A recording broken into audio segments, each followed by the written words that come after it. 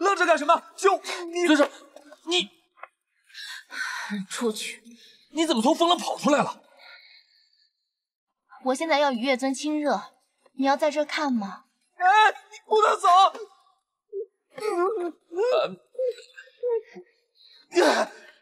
救命！救命！属下告退。救救命！救命！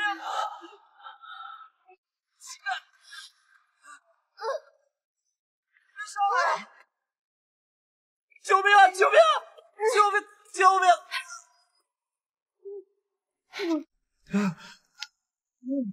嗯啊！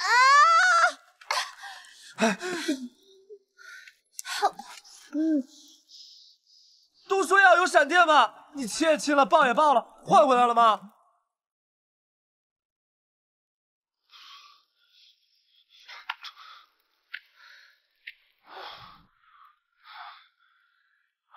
不如你就接受现实，先维持现状吧。维持现状，你倒是适应的快。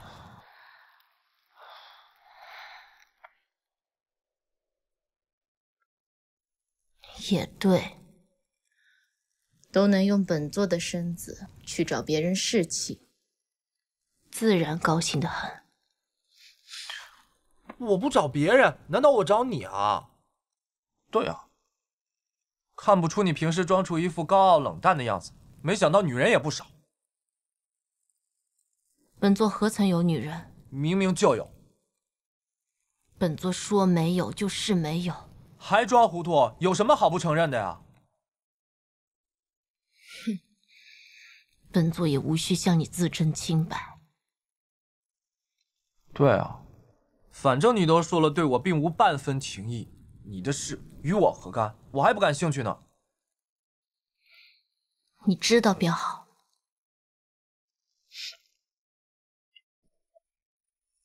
你还有心思与本座磨牙斗嘴？你可知你我现在处境？蠢女人，你冒充本座一整天，没发现吗？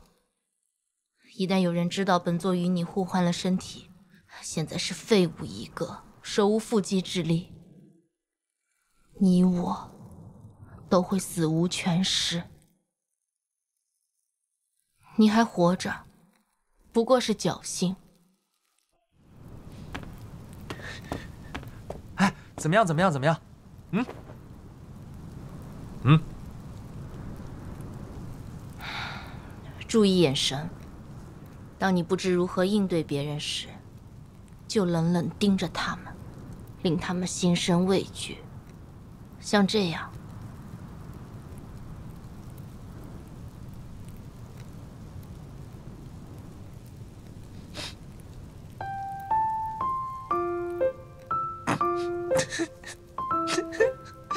你笑什么？哎呀，我就是觉得看我自己的脸做这么恐怖的表情，挺好笑的。啊，我就是一介不入流的小仙女，平时对人点头哈腰都来不及呢，哪知道什么目空一切呀？你更别说什么睥睨天下。哎，我累了。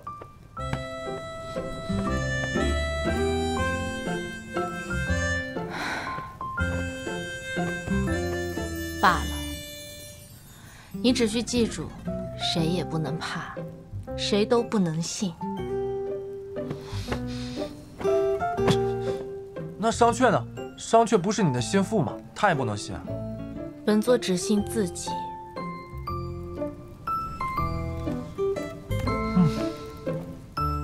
我要是你，我肯定会把换身的事情告诉商榷，这样大家群策群力。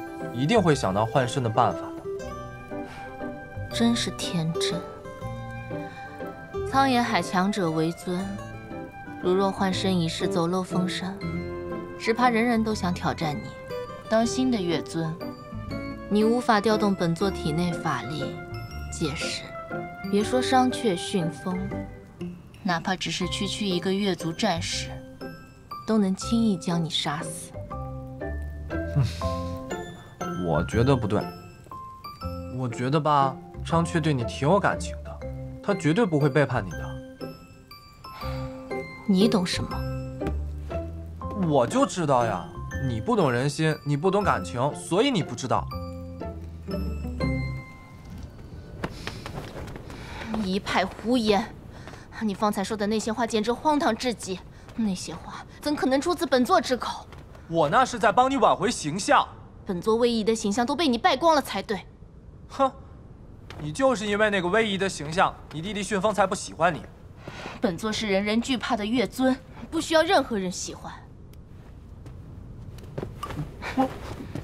你还有脸提旋风？他与本座自幼一同长大，是最有可能发现你我幻身秘密的人。如若被他发现破绽，你知道了，知道了，你与我就死无葬身之地了。你都说过很多次了。罢了，反正明晚便会有雷电降临，在那之前，你一刻也不准离开本座。时间一到，就立刻换回来。一刻也不能离开。那你洗澡怎么办？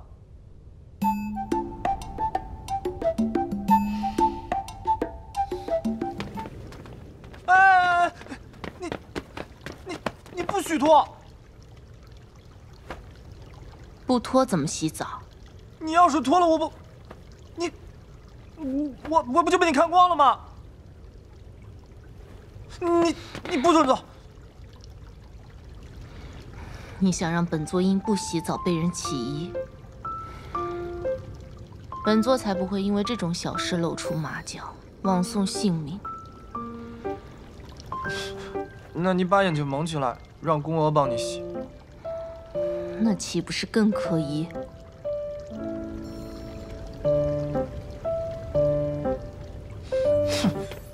我帮你洗。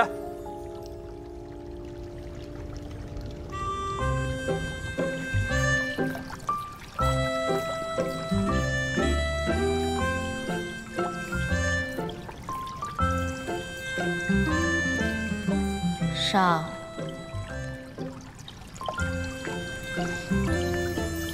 左。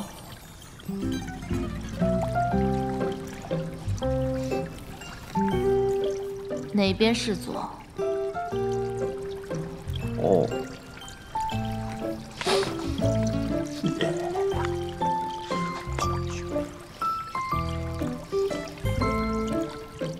再用力一点。你，你别得寸进尺啊！那本座自己洗。别，我来，我来。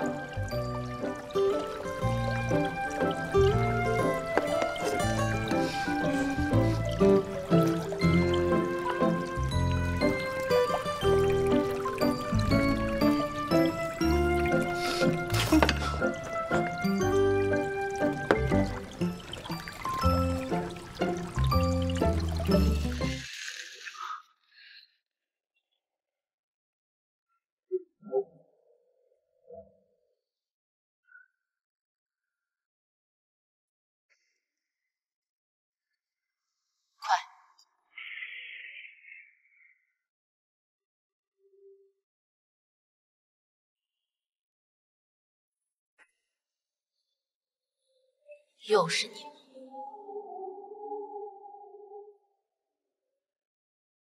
我警告你们，趁现在本座不想杀你们，你们趁早逃命！闭嘴！还想再赌？如今这月尊，想必只是个废物仙子罢了。哎，怎么办？怎么办？他们好像识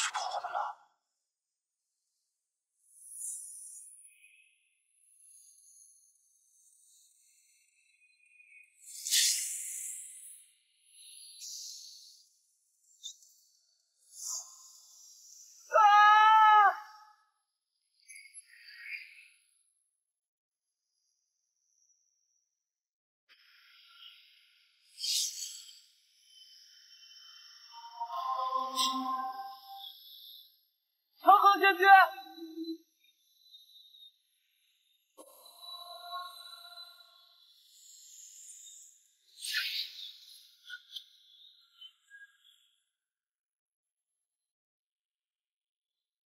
长恒将军。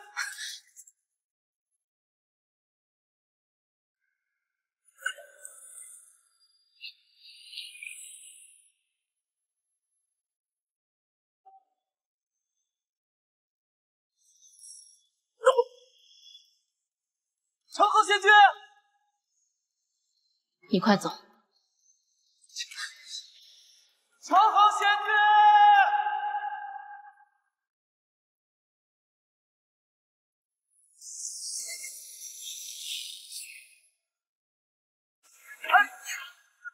啊啊！我终于找到你了，我就知道你不是奸细。你别怕，我来给你解开术法。等等，这术法仙君恐怕也没办法解开，而且就算有解除之法，仙君也不能这么做，因为因为这样东方青苍也会恢复法力。他说的没错，若是东方青苍恢复了法术，以你我二人之力，绝无逃出升天的可能。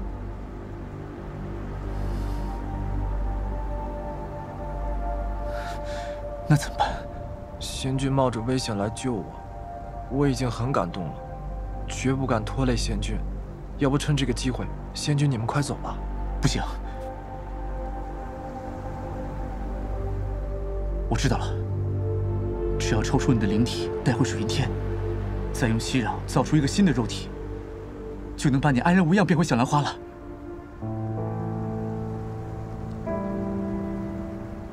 好主意，这样一来，就可以把东方青苍封印在兰花仙子旧的肉身当中。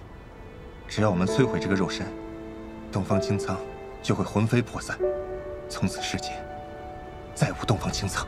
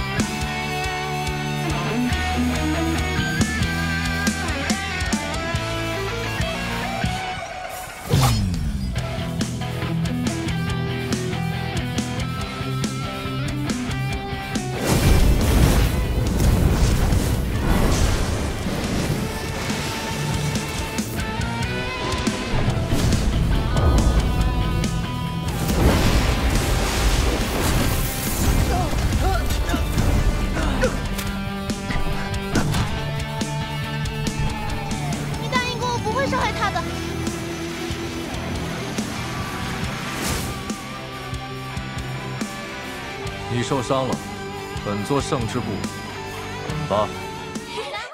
太美了！对呀，真的好可爱。真漂亮。哇！太精致了。是这样。好看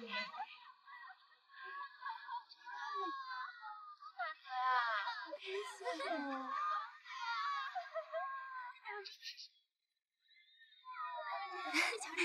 没想到苍颜海最时兴的妆容扮到小兰花身上，真是好看呀！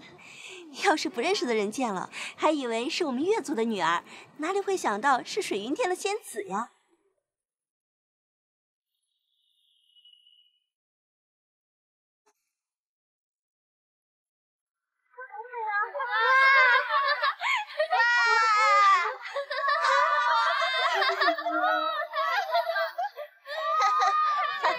沉迷在你清澈的眼睛，是途经最难忘的风景，无人可比拟那些往昔灿若繁星。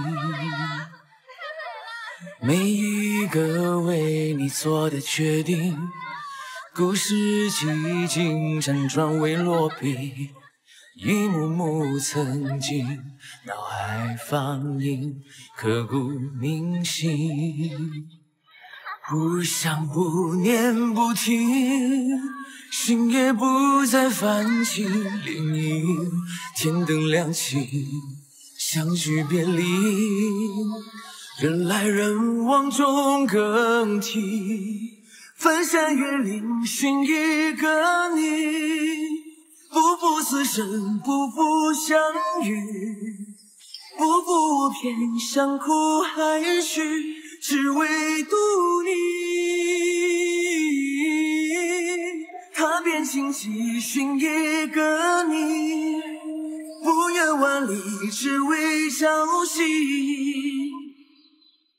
送天下负尽，不负你。我说过，你我之间不可能有半分情谊。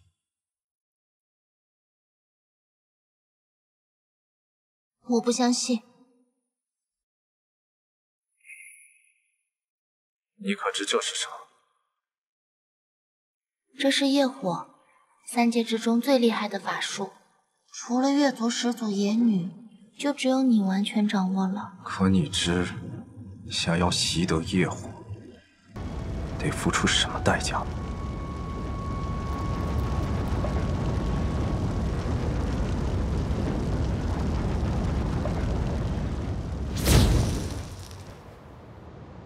八情绝爱，七情禁区，但凡心里有一丝情根。都无法完全掌控业火。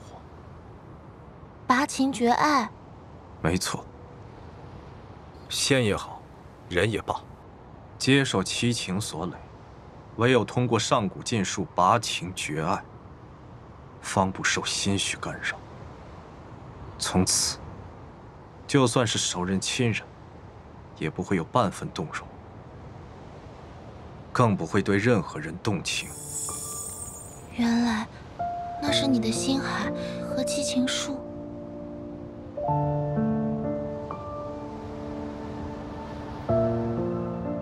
你明知本座拔情绝爱，却不忧不悲，反而欣喜，这是为何？所以你之前说讨厌我、嫌恶我，果然是假的。你只是被拔去了七情，你也没有办法，这不怪你。杰利说的对，我该多去想想你为我做的。你为我做了这么多，这一次换我了。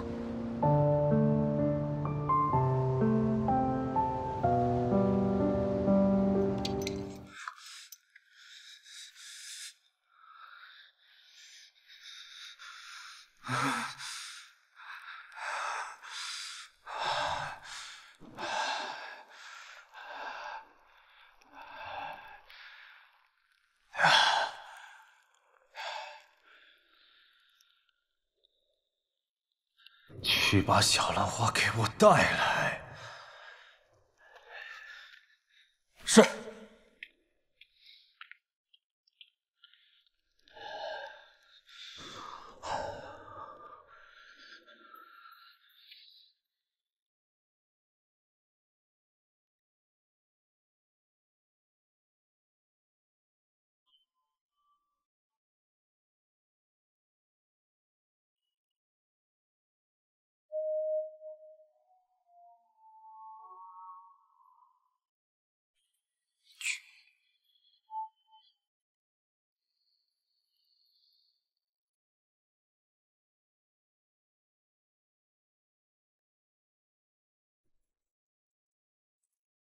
月尊大人，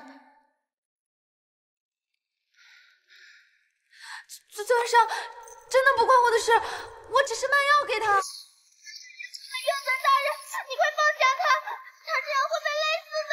千里，你捉弄本座的时候，可想过他会死？再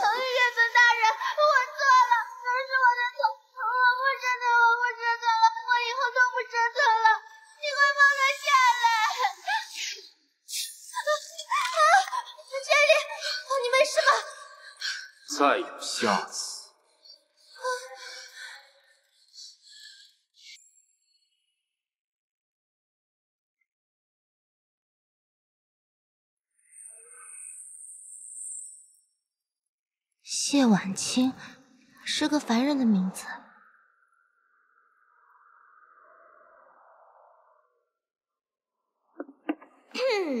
这个节日就是为了庆祝两族大战仙族胜利的日子。我们水云天每逢此日都会庆祝这个大战胜利、封印月尊的节日。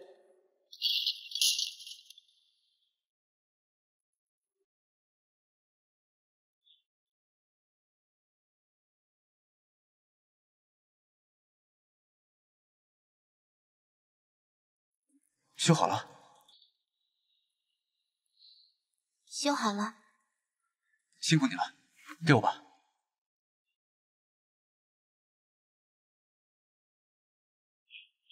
长恨仙君，你离开苍岩海之后，遣银虫回来寻我，可那时我被东方青苍关了起来，他不准我回信。你没有生我的气吧？我并未生气，只是担心。嗯。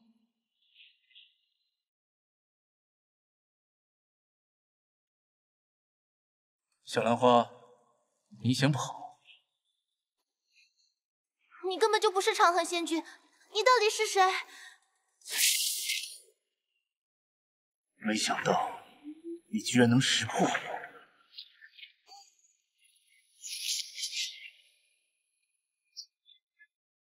这是幻术！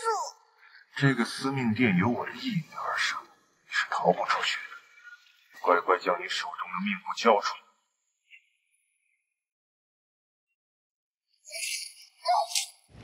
来！月尊大人，你等等我呀！刚才谢谢你救我。你为什么要乱跑？本座不是说过吗？不许离开本座视线！法力这么废，还敢乱跑？本座今天要是晚来一步，你就死了，知道吗？我没有想逃跑啊！我答应过你要帮你治好七情术的，说话算话，我不会逃跑。我只是想帮杰里。我不管你什么原因，本座再说一次，从现在开始不许离开本座视线半步。不管你要去哪，得让本座知道，懂了吗？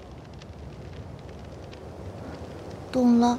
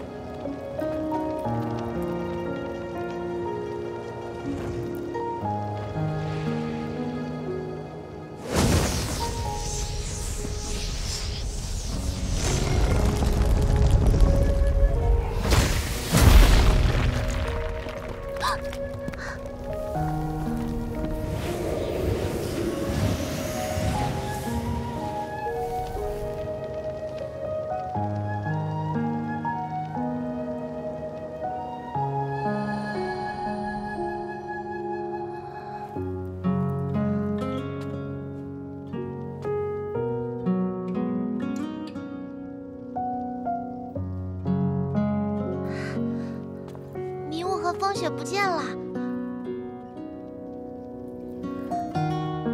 原来是因为这化魂鼎日日炼化碎气，让逝者的悲愤和绝望之念凝聚不散，所以才会让海市有着漫天的风雪和迷雾。你打碎了这鼎，自然就云开雾散了，太好了！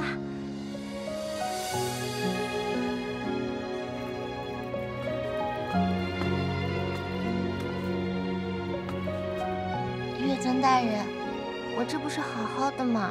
人没事，命布也没丢，非但没丢，我还修好了。你看，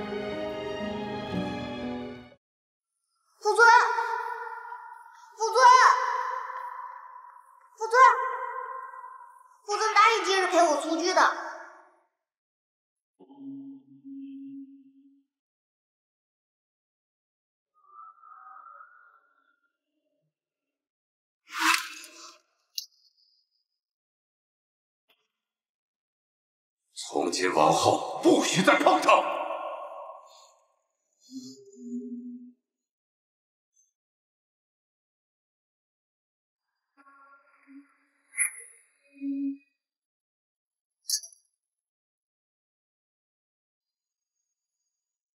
先扔掉，以后有他去赌场练剑，现在就去！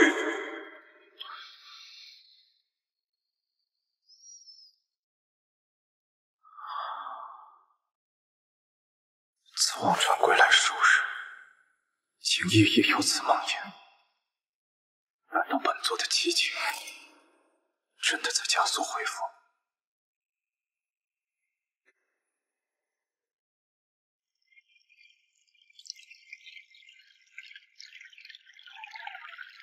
大木头，大木头，听说你这几天睡得不好，所以我特意给你准备了这个，你闻闻香不香？这是兰花草，不过这可不是一般的兰花草，是我以元神之力化成的。有了它，保证你一觉睡到大天亮。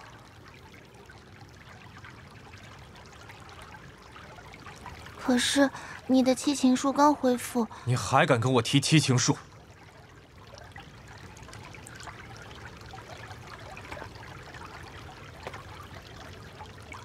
本座忍受炼狱之苦，才拔情绝爱。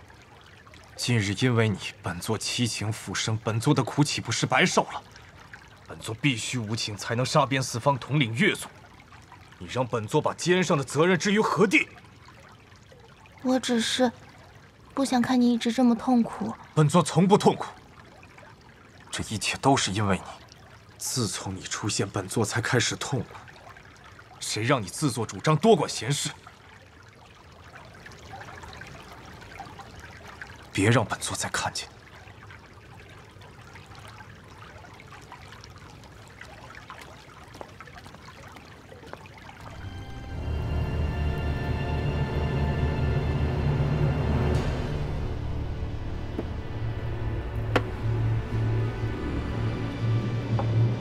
我见过这个东西，这个就是当年装秘册的锦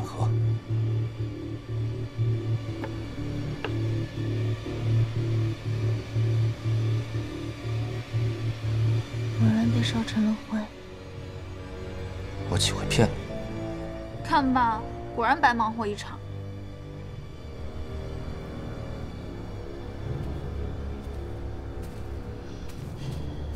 等等，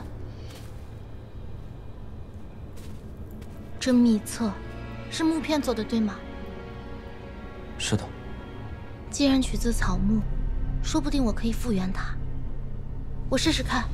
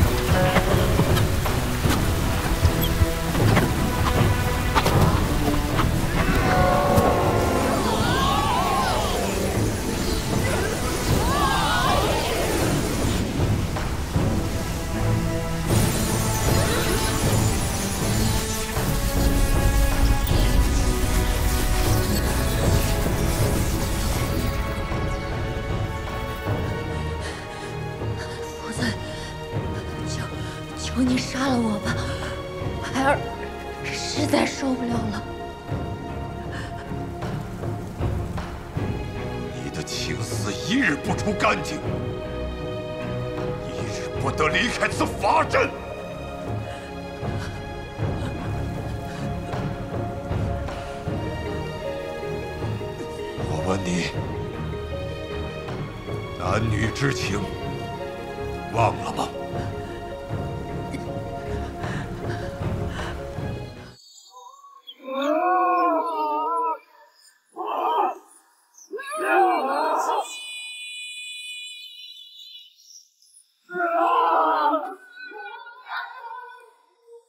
没想到，拔去七情是这么痛的。小兰花，我明白了。尊上最近如此痛苦、暴躁，一定是他的七情术要复苏了，让他想起小时候的记忆。他是永远不会原谅他的父亲的。我不明白，为什么一个父亲要这样对待自己的儿子？难道他就真的一点都不疼爱自己的亲生孩子吗？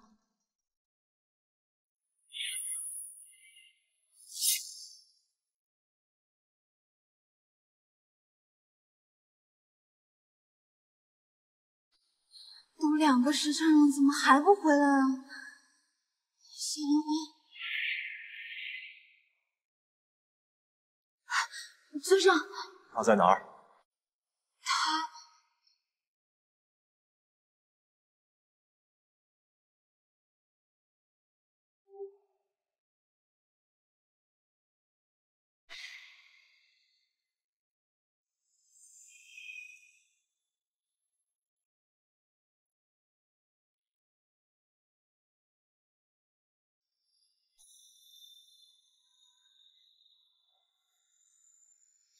是元神吗？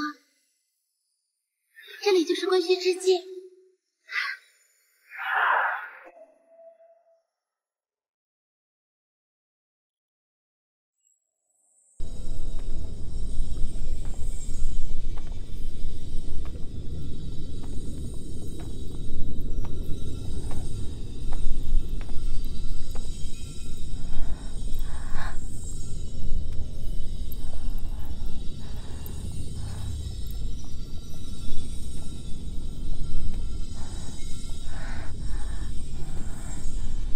是仙月尊吗？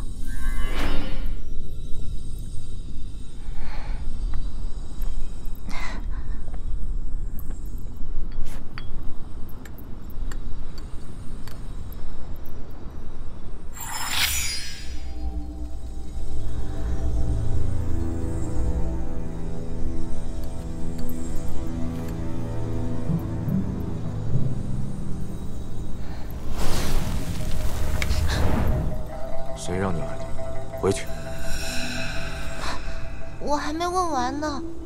你要问什么？我想问问你父尊，当年为何要那样对你？这事轮不到你问。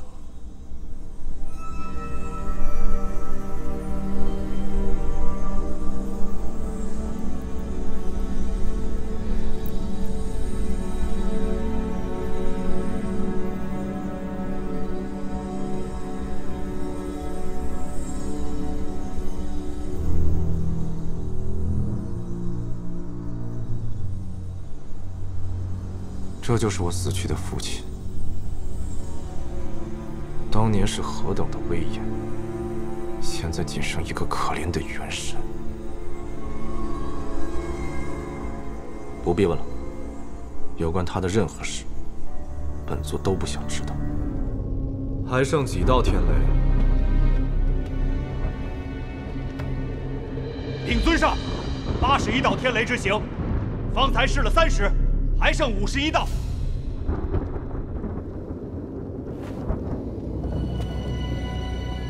余下的，本座替他受了。尊上，尊上，您是万金之躯，怎能戴罪受罚？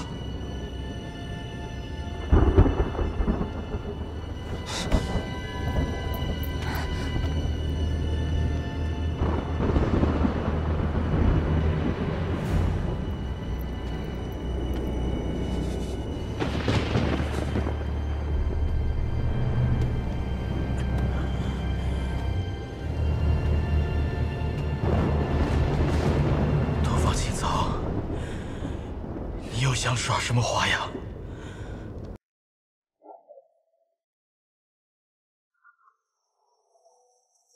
行刑。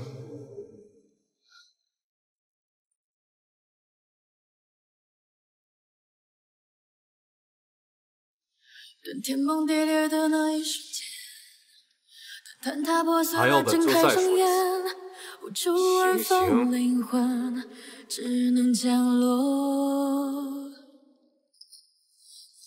相接在天地之间，心海深一场惊觉，有你的世界。爱情却爱了最后，指尖缠绕的温柔，化作一把锋利剑，上落。越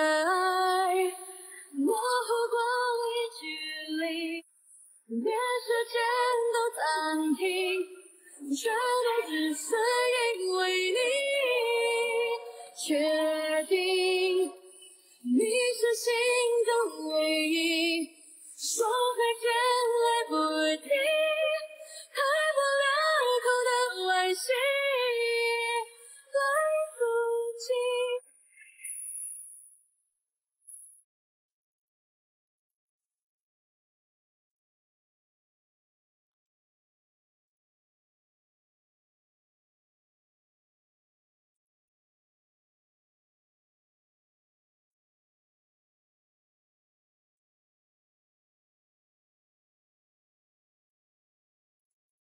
难道你愿意承受之前的弑父之痛吗？嗯。近日来，我白日所想，夜夜所梦，都是与父尊一起练剑、一起蹴鞠的快乐欣喜。所以这次我要自己决断，我宁愿承受弑父带来的痛苦，承受所有情爱带来的痛苦，我也不要忘记这些感觉。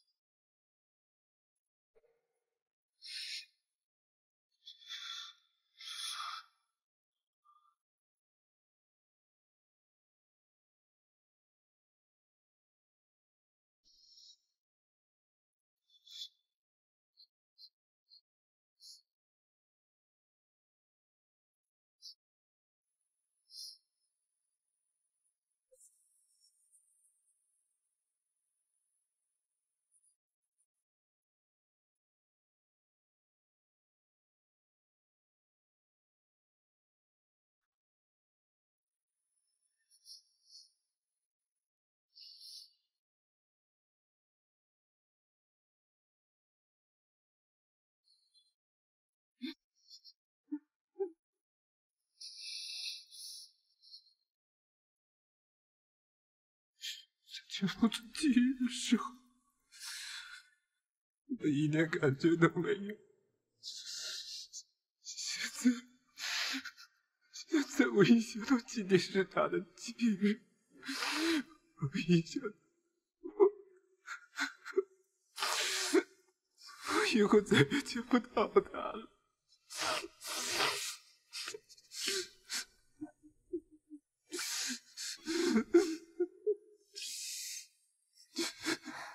我毁了七情书，是不是就不会痛苦了？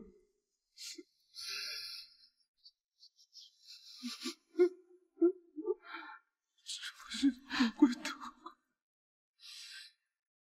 我不怪他，我不怪他了。尊上和旋风殿下重归旧好，兄弟同心，我当然很开心。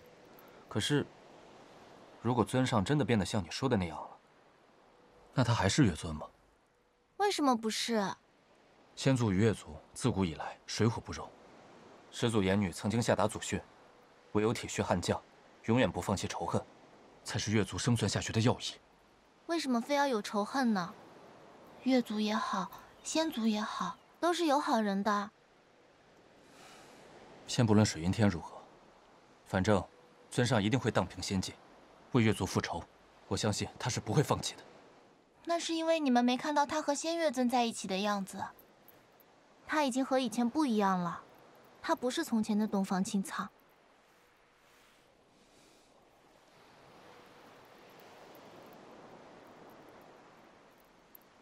接里，你这什么眼神啊？拜见尊上。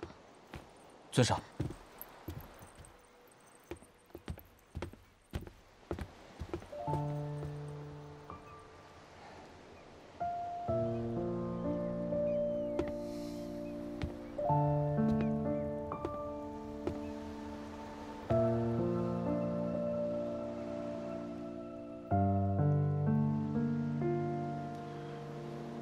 本座的鲜花饼做好了吗？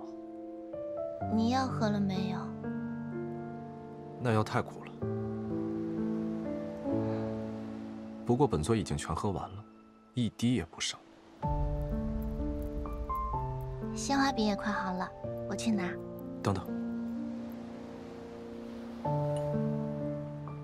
这是什么？按我月族的规矩，感谢一个人，便要割自己的血，涂在那个人的脸上。本座十分感谢你。不要，这是你的血。本座猜到了你可能不喜欢血，所以已经换成朱砂了。我能不能不涂啊？不行，这是本座有生第一次感谢人，你不许拒绝本座。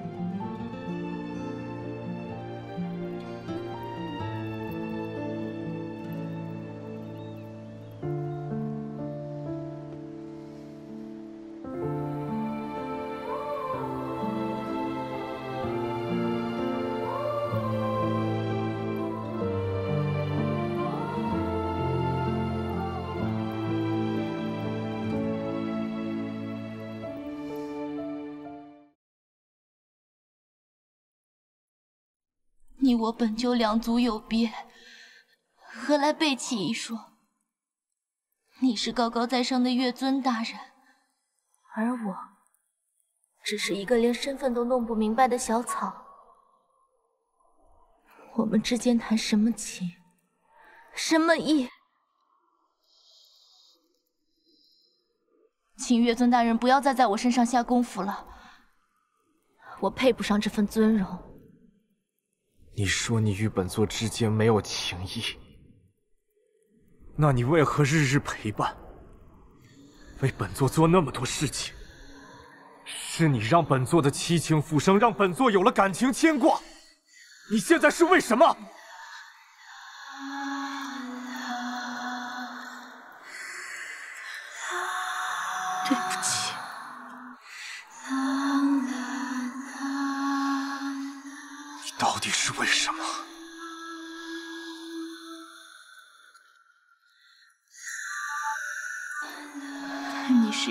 的领袖，担负着月族的使命。我也一样。水云天是我的家，本座只想把你的家还给你。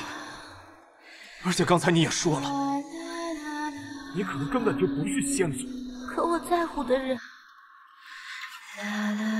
除了你之外，都在那儿。我问你，你踏入灵锁门时，长痕拦你，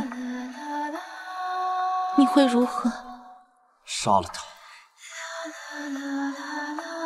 那我师父拦你，你会如何？即使你师父若肯归顺，本座饶他不死。倘若他执意不肯归顺，誓死要捍卫水云天呢？你就真的不能为了我放弃仙族吗？那你可以放弃月族的仇恨，放弃你对父亲和子民的承诺吗？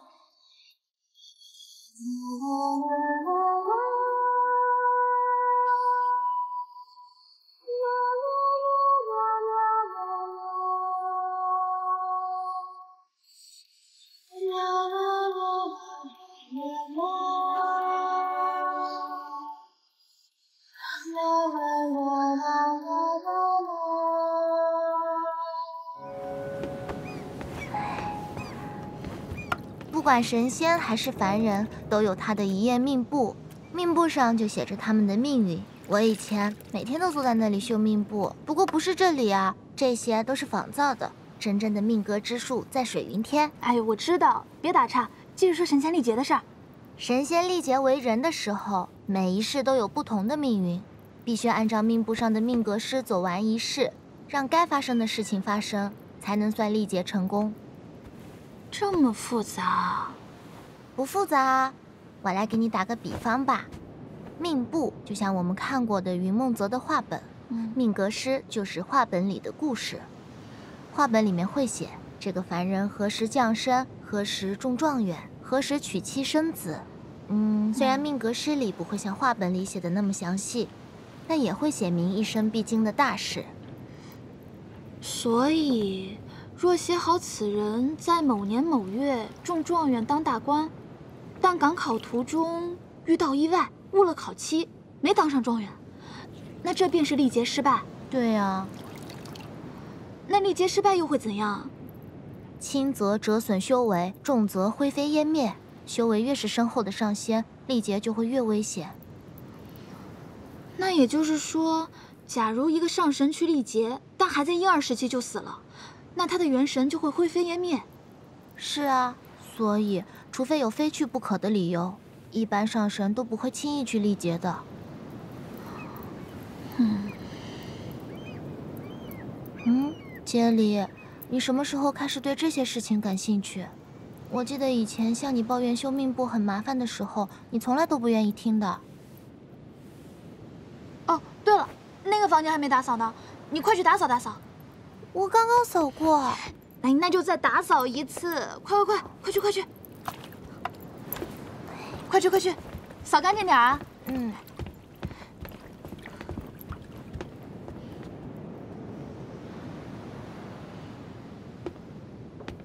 拜见尊上。原来如此。尊上，我已经把尊上想知道的事都问清楚了。那尊上以后，可不可以不要再总想着杀我了？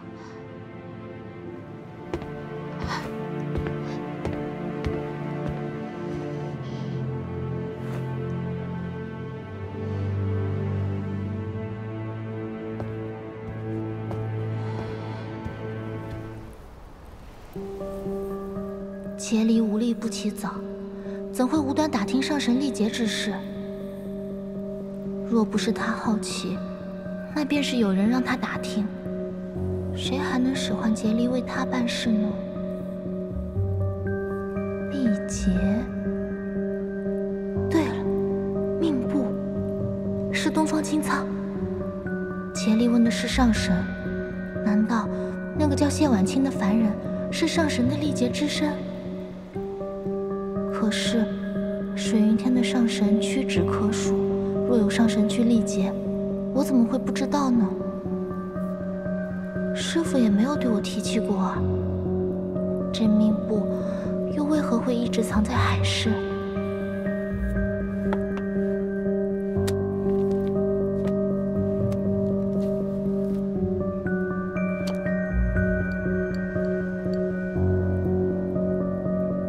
半世锦绣，半世尘。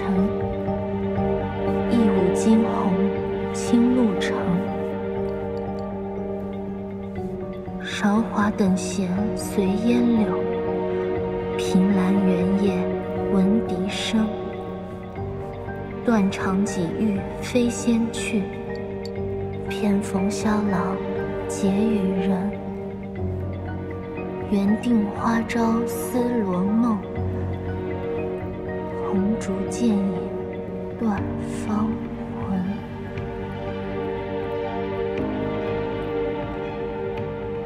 新婚之夜死在新郎的剑下，不，应该说是生生世世都死在最爱的人手中，好凄惨的命运。